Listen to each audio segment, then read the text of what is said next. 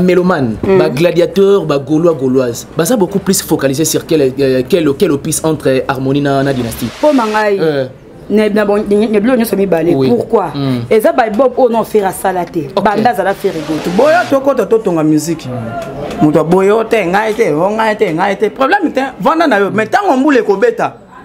vous allez comprendre vous allez voir aussi les musiciens qui vont mourir ces jours là comprendre que non normalement nazalaki bafaute hmm. na batv balote nde topesaka bango confiance nde miseki na le marki toyemba baya bakimisanga ecole toyemba bongo oza nango ba 100 kilo epesaka na eloko ya bongo quand on parle de wenges on voit généralement wenger ozo comprendre soki fere alobi ke bamasane ya wenge r mosusu bato mosusu bazobule neti obeta na wenge oza masafereoduisesa bazalaka na ofere oyo bauti maison mare mwa mosala motu babindo memema gdt mema sikoyo bakomi bato bango mo baza bapatron na babord na bango mayele ana ekoma ndeni eloko nini ekobima elo bato baozela yango wana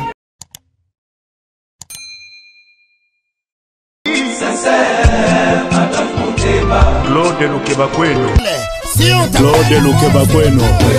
Claude Lukeba Kweno o oh, chaîne na ye j'espère Claude Lukeba Kweno o oh, chaîne na ye j'espère Bokoto Bokoto babi Claude Lukeba Kweno TV eye na monde engagé bagolois bagoloise nyonso oyo oh, vraiment bolingaka boyoka actualité ya misala na bino bolingaka mingi ferre gola jésus de nyonso epuis actualité musicale eza kaka awa na claude lukebakweno tv moto ya danger na bakisi susu moto ya danger ke vraimen totindika bachaine ya mike mike batikela biso nzela toleka avec bos de bos initiateur ya chaine oyo claude lukebakweno l'homme de jugement par défaut le guerrier de fer egola maître musa mangi makambo ebandi yanikabwe kabolos boucle quoi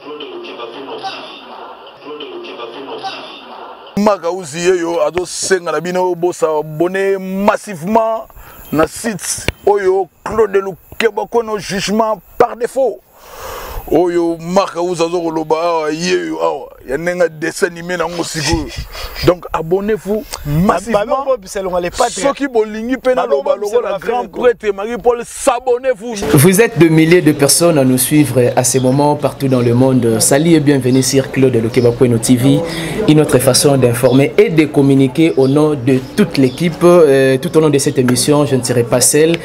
Je serai avec euh, mes confrères. Je dirais qu'à ma droite, je serai avec un confrère d'estime, Bogard de la presse, visage très connu et à ma gauche, je serai avec Nancy Bassé, le VIP de la presse. On s'appelle bien, a parfois Kamaji, toujours dans le cadre, il y a ambiance, dans le cadre, il y a fraternité. Mais seulement, vous devez comprendre que tout ça pour une simple et bonne raison de parler de tout ce qui est des jet set dans son ensemble. Et nous aimerons bien surtout de, promouvoir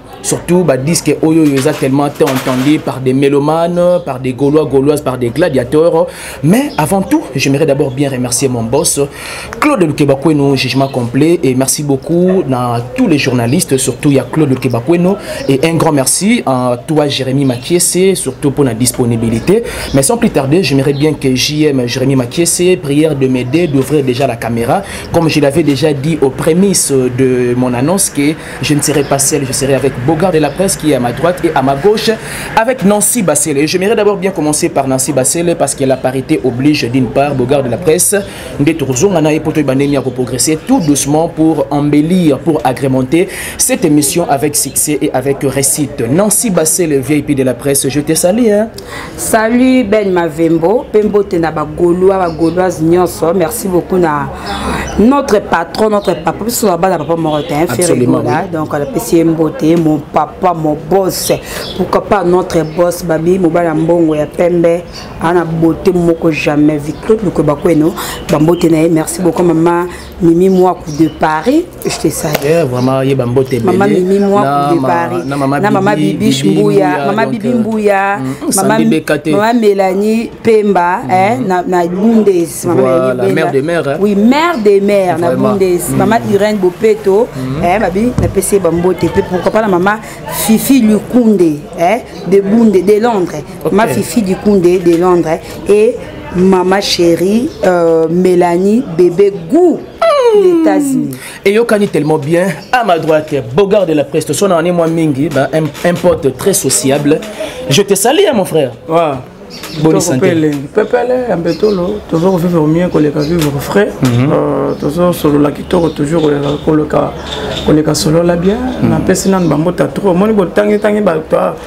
mwa ebele bakabelaka mpe bino mwa mike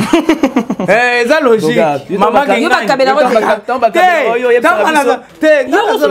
okimaka eh, donc eh? bambota to na mama fanta kofana mama présidente mama jeanne ndoki euh, bato tout surtout mama jeanne ndoki bambota trop place ozwami donc bambota trop mama fanta mama jeanne ndoki mama fanta il faut basolo mama tala omoni tozosala mosala oyo tozosala mosala ntiaka vete ozo comprendre bato fo bayeba donc bagolois na bagoloise hmm. batiaka biso toujours biso to tozo kobundela kaka toujours motu moko faire egola jésus de nias tozo defendre kaka motu moko mama fanta fofana mama jeanne dok mama madi wembo c'est la famille euh, Joël nani ndeko na biso euh, Emmanuel Kalonji bato baza vraiment maman maman Mira Mafuta maman Mira Mafuta Jean Thomas Kasaka ça presque bato tout Ali da Mavuba Mavuba Bali donc bossa la maître Moussa Mangi toza vraiment ebele pona ko sololaka toujours tozo défendre toujours ka cause moko qui est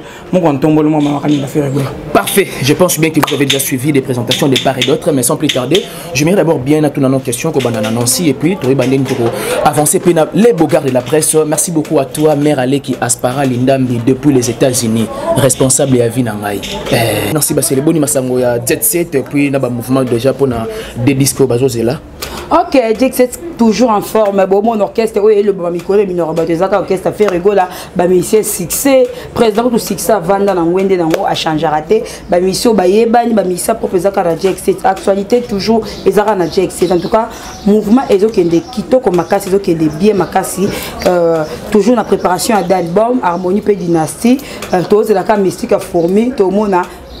affiche ba moko na date officielle oyo harmonie to dynastie oyo album ebima liboso je crois que eza harmonie na date officielle oyo ya album ekobima en tout cas bagolo bazala pose bafan bamelomane na bonne musique bazala pose bafan ya bamusicien nyonso boyemba na dynastie bazala pose en tout cas bon ozala desi te wana ebengaka ata bogarde ya prince ya moko atomboli ratara te parfait nansi basele bogarde de la presse mbanga na mbanga moko atombolo hmm, balobi dynastie il y a trop de pot de banane epai baoyo no bazwi appel te c'est dit ya quoi bogarde de la presse te omoni merci beaucoup une très belle question bato hmm. baza kotala biso na moment oyo dynastie ngai nazobenga yango arche de nero puisque eza neti ke no no azosala na arche na ye absolument abeleli bato boya tokota totonga miziki mm. moto aboye o te ngai te o ngai te ngai te problème te vanda na yo mais ntango mbula ekobeta vous allez comprendre vous allez voir aussi les musiciens qui vont mourir ces jours là parce que ngai asi namoni déjà aliro tozokende na makambo oyo yande eza bato mosusu bakotika musike voyons mpe quand même na bandeko na biso oyo bazalaka libanda ya mboka par rapport ya dynastie oyo tomoni banigeria bazoloba o oh non nigeria ndenge eza boye baleki bakongole baleki biso te bango baza na unité moko boye yango omoni bango baleki biso alors cette fois-ci ferre egola quand même ayeli biso réconciliation musicale moi j'appelle ça réconciliation parce qu'il a besoin de tout le monde baya batya banzembo malgré bamisusu baza kocritique problème te même jésus christ bakritika ye absolument ozo comprendre maintenant c'est la fin qui justifie le moyen oui.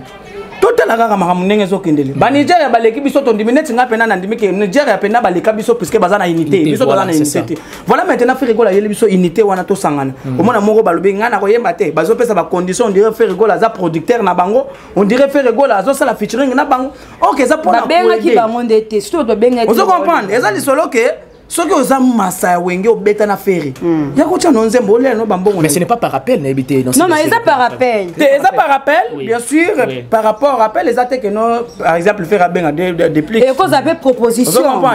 na kati bogarde pardon bogarde la presse moko atombolo nde bogora otoloba ah. fere gora obaki yango bieto oleki miso bofere gora abina abengaki na nga lacoste to tine lacoste hmm. abina abengaki oza motema malamu neti héritier watanabe hmm. héritier watanabe asepe na idée apropose atie proposition na ye tant que mpe mwana wenge atie proposition na ye depuis asengaki ye bina soki eza libam oyo akoyemba esali ebie makasi moto aza moteya malamu akosepela baide malamu oyo bafere gola asali okoki kosenga shetani hmm. abike no président euh, collègue ou nani akobenga nasepeli nga mpe natya na participe na dynastie mais baoyo nde bazo bamite ya mabe bango mema bandenge na bango ngai naza leader nga fɛ nde nga a propose nga fɛ nga sala nga boye eza ke comment expliquer projet ya mutu yo lingo déformer o pesa na goût na yo est-ce que ça na sens kozanga succès bogard de la presse nayebi te soki kotoni toko analyse ndenge nini na yo ensemble te ngai nakoloba ke par rapport ya dynastie ya hmm. ferigola oyo abengisaki bato abengisaki bamasa na ye eza te ke fere akobenga par exemple miel de son olandi bapropos ya miel de son naza kuna nakoma wana esimbi te puisqueperekola na jamais quand même batikala koyemba place moko ozo comprendre soki peut-être fere abengisi mabialo te mhm. me mabe ya lope akoki koya mm. puisque aza masa na ye bapasa na ye bamoma moko boye ya mpasi na wenge maison mare bato to bayebi yango mm. de faire azosala alison na baconfrère oyo ye apasa na bango moma moko ya makasi ya mabe na wenge muzika maison mare baoyo bakoya te baza mpe bato mm. tokokondane motu te problème te fe mpe sala mpe ya yo musique problème te oboyi koya na wenge na, na dynastie problème te sala na yo musique nous nous, nous, nous, nous tozo continuer sikoyo na continuité na biso hmm. il faut ozonga otala neti nde nazomonela dynastie oui, oui. tala neti ferre oya oya na dynastie te ekolobela mpe ferre rien tozonga moke na euh, le marquis de maison mère ferre bill clinton jdt balaka 3 personnes ntango hmm. babima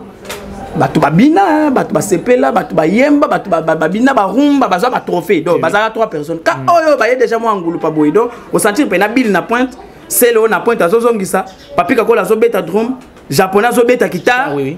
fere azobina babindoma azobina jideta azobina nandimi te ke ata peut-être manque ya motu moko na kati ya dynastie je ne pense pas que non ekolobela mpena dynastie eloko donc c'est-à-dire bato bakobina koyoka miette de son koloba wana mpona bana na basele epuis nayo ozonga nao nayo chite nao mpa na yo wana koyoka miette de son aloba ke hmm, dynastie eza volume 2 eza lokola le marquis suite et fin ntango okaki yango personnellement en tant que analyste culturel et puis en tant que moko ya bapanzi sango selon entendement na okoki koexplike yango ndeni mia de son atalaki émission wana elobe alobelaki yango alobelaki yango na motema mabe mpo so otala émission wana bien baboyoki na motema mabe na comprendre ya miel oui toyebi ya miel na maison mère hmm. mais mito toyebi miel te miel abimisi album abimisi basinga abimisi nini fiasco na ah, ah, mais dimi ata ata kuza miel ah, ayebi nzemba miel ata kuza oh, nga siko eye na miso eza kaka clip asalaki clip mwa kitoko me nzembo bayebi te bato basali tire attention mpo na clip hmm. donc miel nayeba ye miel na maison mare alire azoluka peut-être eh, alobaki wana sens moko to kimotema be alakisaki wana mpo alobaki wana kimotema be sotali émission wana hmm. wana alakisa peut-être mpo totia eka nde bato mosusu bayaki yaki yaki totiaki mwaka ezongisa bango na actualité donc mes conseil naopesa miel a mérité kozala président te bamérité kozala musicien soki alingi aya na jx aya alingaki epe bato mosusu akende soki osa miziki ya polémique ezosila ye ezoluka tya polémique mpe polémique wana moto oyo bozala ata bacamarade to ebi ata bogard de la prince boyemba esika moko te baoyo bango basala bino ntango boyaki bosala yango te donc euh, abeta miziki stabilité abeta miziki apusana te baninga badepike bapusani apusana te bamaestro bapusana aoze mokie me na niveau oyo atikaleli mhm. akokretie ata misie moko te oyo yango imi akokani na succès parfait nansi basele à vous mbanga na mbanga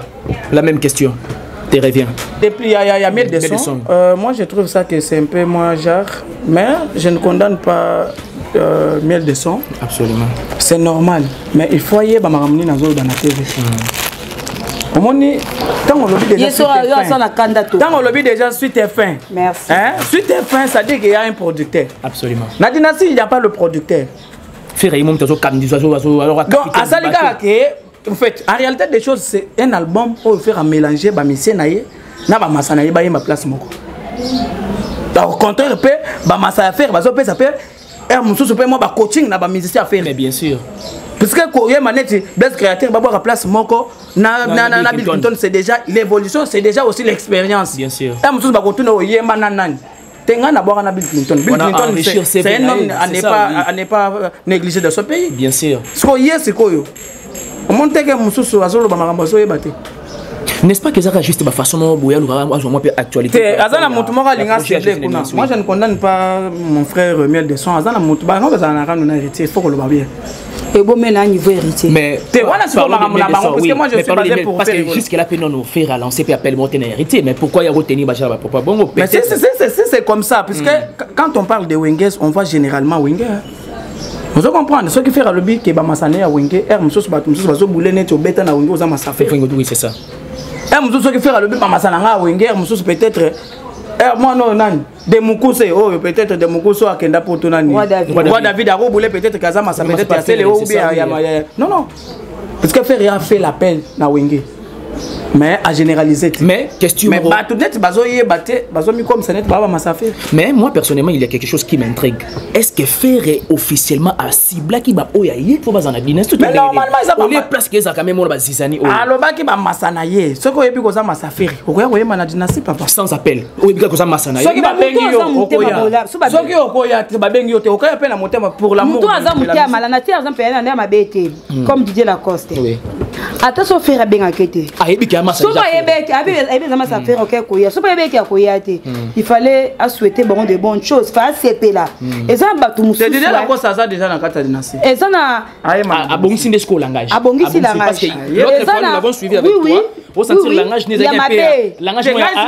ya arrogance en fait ngai na comprenaki te ezali na kata yo moke ngai na comprenaki te na badire na ye tema ke lacoste bango na faire balaka bamasa depuis bomwana ya mosusu azomema makambo ya musique neti bamokimasta te mais wana eza projet na ye akoki koimposer projet moninga te ce sont des choses oyo biso ntango tobimisaki deya manduki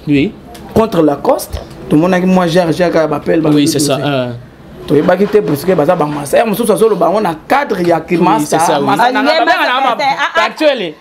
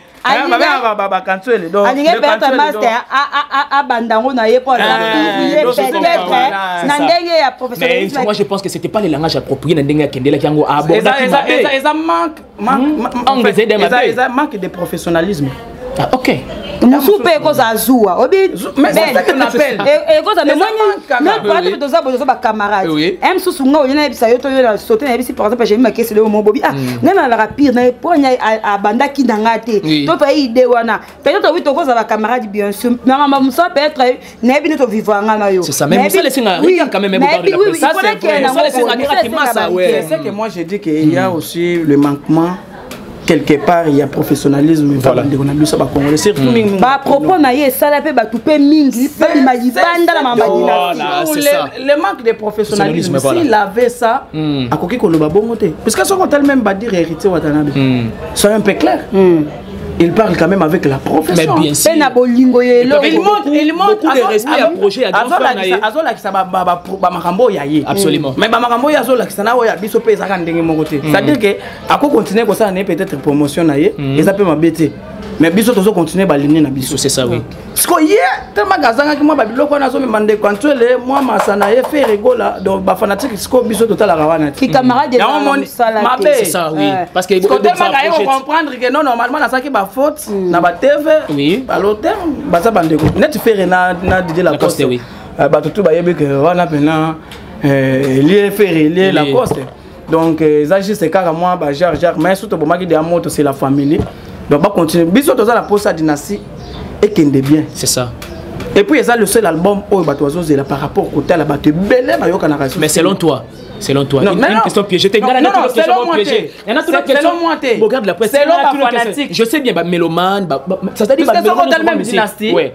soki otali même dynastie faut tianga na cheveux no question vous allez on continue mais soki otali dynastie soki otali même ba ba, ba chef d'orchestre ba, ba, ba, ba, ba groupe mm, mosusu musical mm. o sentir pena ke bango tout baso talela ka dynastie c'est quelque chose oyo bato bazo kozela même soki otali ba fanatique ya ferre ezala ya ferre te ya l'autre là bazo tala ka dynastie bazo tala okabo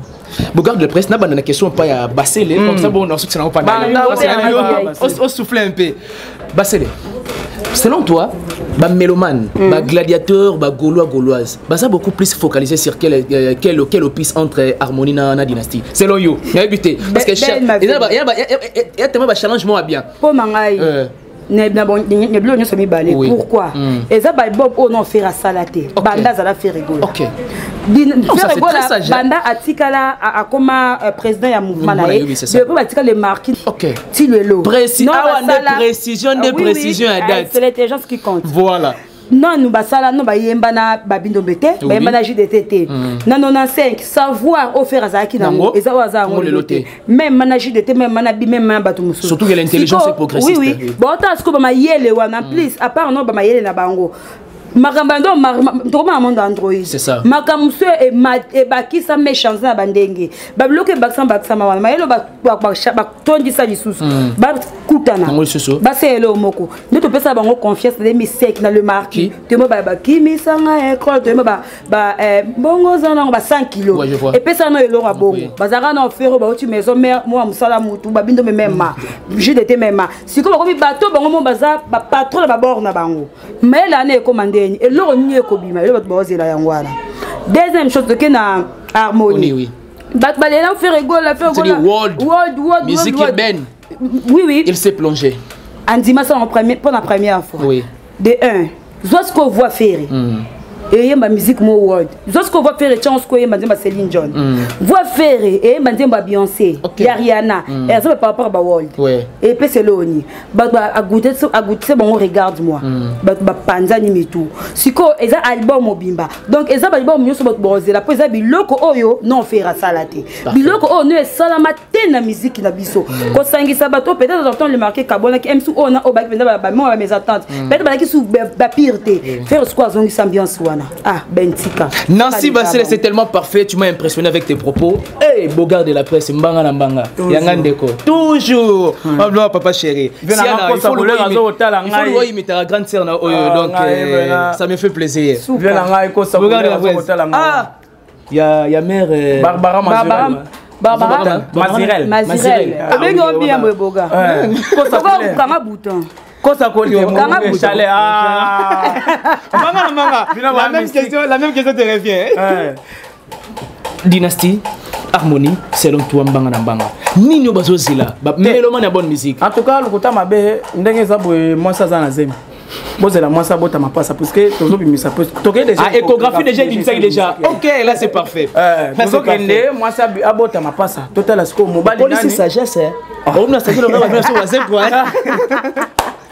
comprenez ah, l'ambiance de l'émission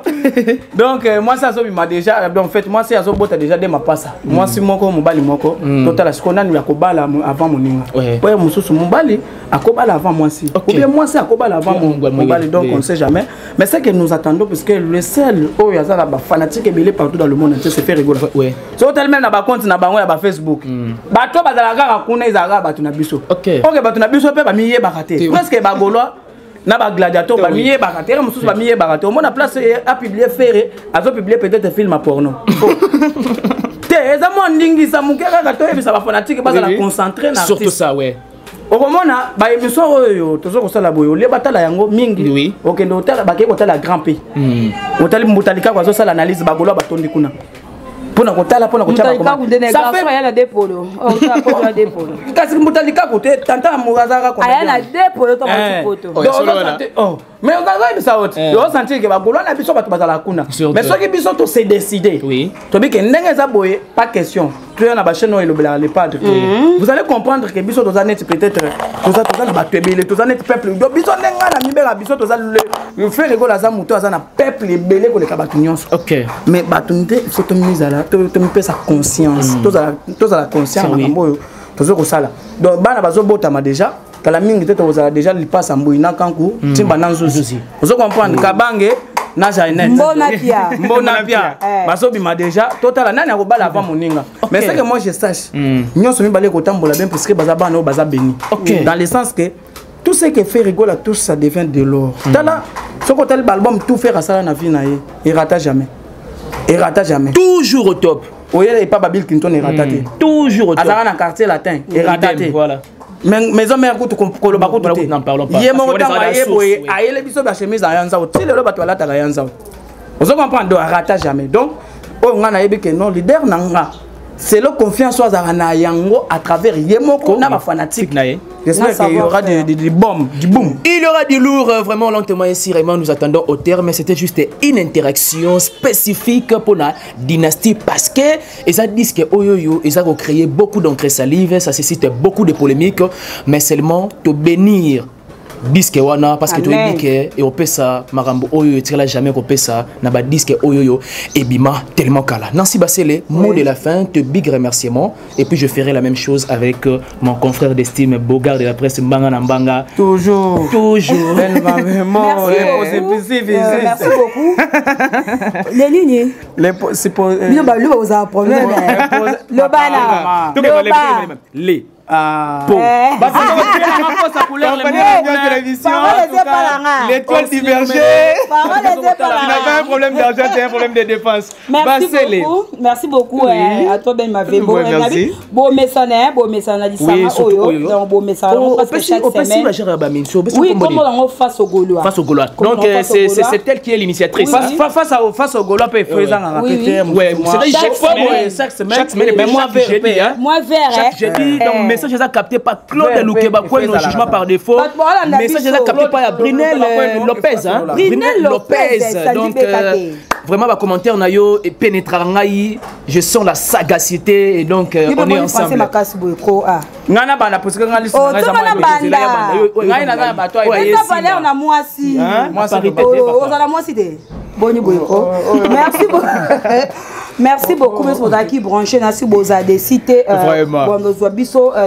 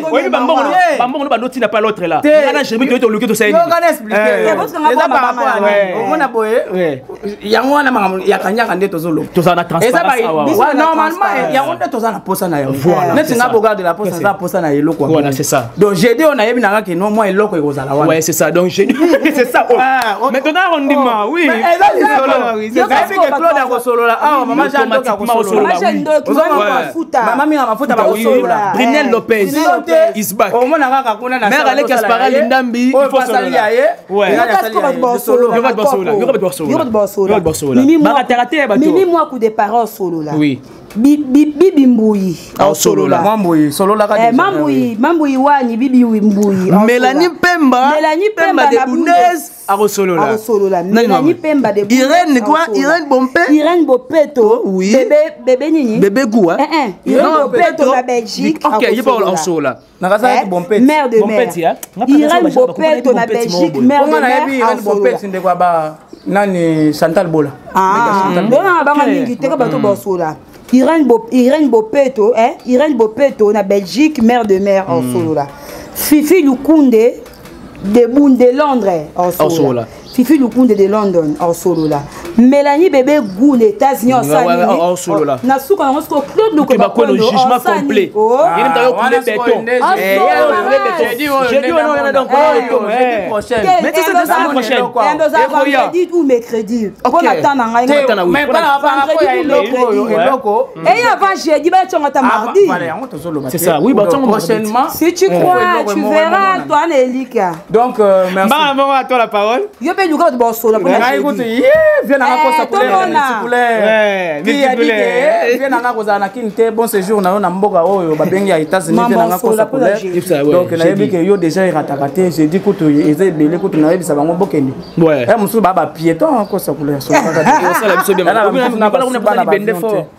donc euh, il faut hein, bato basubaka subaka na avion mpo esala mwa bien vie nanga kosa couleur de deko kona allemagne merci beaucoup na barbara maziral en direct des états-unis d'amérique o oh, prononce yango bien lobi yango ata basele double toto to cibolo ozo kotala ngai vie na ngai pati malobo très puissant donc euh, doudou kamalanda ozo kotala ngai charlie lapage ya likoni de sa génération ozo kotala ngai guy makonda toujours classe oyebi déjà ndenge tosololaka déjà rik lumu eh, riki lumu le baron toujours na pointe et donc mozamba l'intouchable ayant droit pire vie apeti na ye vie en tout cas nayebi te nakoloba nini or sini lumeni o moko oyebi déjà ndenge tokotyaka déjà mama présidente odeti tibambe femme d'affaires mais nalekaka ndenge olobaki déjà yo oyebi déjà mama odeti tibambe femme d'affaires mwasi aleki basolola jeudi ya kilo wana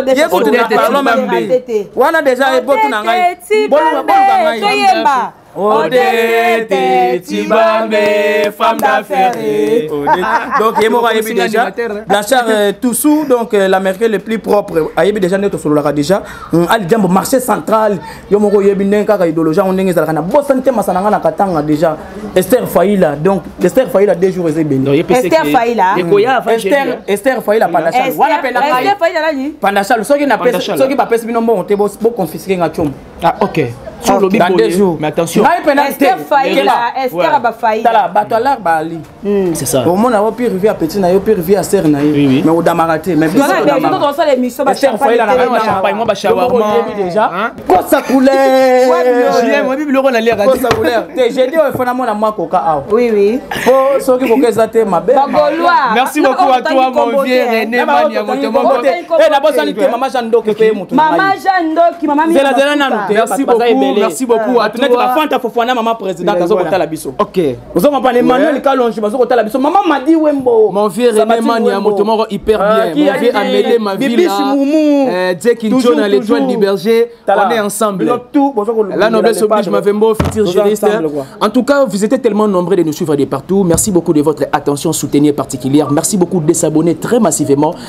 de commenter, de suggérer, de critiquer étant donné qu'aucune œuvre scientifique n'a jamais été parfaite. Vraiment j'ai dit, besoin encore de lourd, plus que Oyoyo, Nabaji, et puis Nabashawarma, pas beaucoup plus. J'ai dit, la présentation. Il n'y a pas de problème. Il y aura, il y aura des variations de temps à autre. Nous vous aimons tant, nous vous aimons énormément. Habituez-vous, visage à Kitoko Oyoyo.